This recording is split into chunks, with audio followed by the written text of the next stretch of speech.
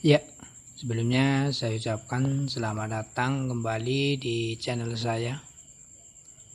Di kesempatan kali ini saya akan berbagi ilmu ataupun berbagi pengalaman-pengalaman saya.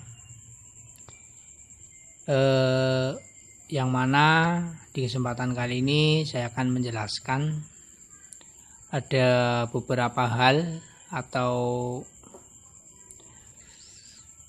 manfaat dari pipa rokok gading gajah asli ya. Ini ada banyak manfaat. Saya akan menjelaskan manfaat dari gading gajah ini.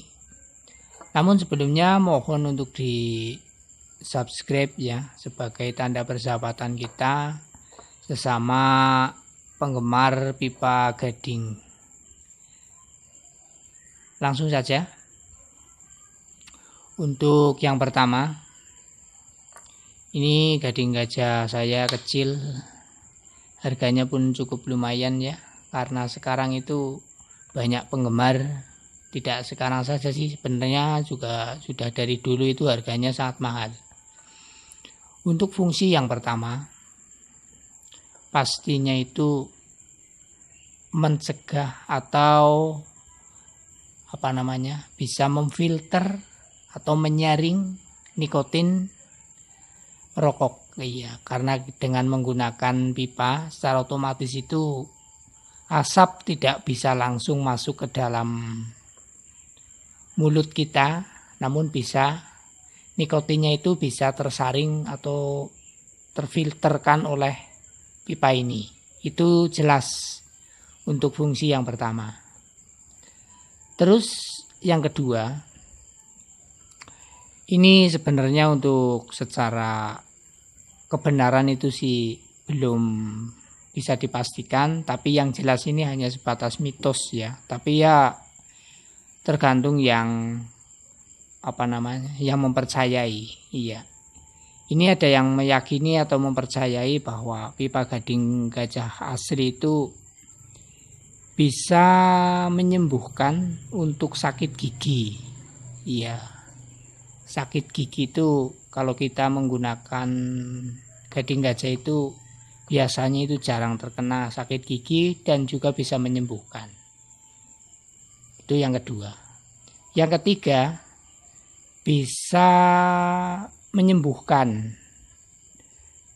Menyembuhkan sakit perut iya. Itu juga bisa ada yang mempercayainya seperti itu. Khususnya itu bagi orang-orang Jawa ini khususnya. Banyak yang mempercayai hal-hal tersebut. Tapi belum bisa dipastikan kebenarannya tapi yang jelas itu hanya sebatas mitos ya barangkali ya. Tapi banyak yang membuktikan kalau yang mereka percaya ya bisa sembuh juga sih. Tapi kalau pengalaman saya pribadi, memang saya ketika saya sering menggunakan pipa gading gajah ini itu jarang sakit gigi. Iya. Caranya bagaimana? Untuk menyembuhkan sakit gigi itu kita ambil segelas ya. Kemudian kita isi air boleh penuh ataupun setengahnya juga boleh Kemudian masukkan pipa ini ke dalam air tersebut. Nah, setelah itu kita air matang pastinya ya, yang bisa diminum bisa diminum ya. Kita masukkan kemudian kita kumur-kumur. Iya. Kita kumur-kumur. Ini khususnya untuk sakit gigi. Kemudian kalau untuk sakit perut kalau sakit perut ini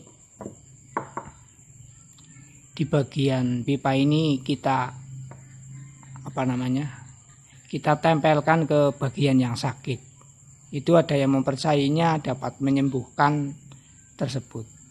Ya mungkin cukup itu saja video dari saya. Terima kasih. Mohon maaf bukan berarti saya menggurui atau merasa sok pintar namun sifat saya berbagi pengalaman. Terima kasih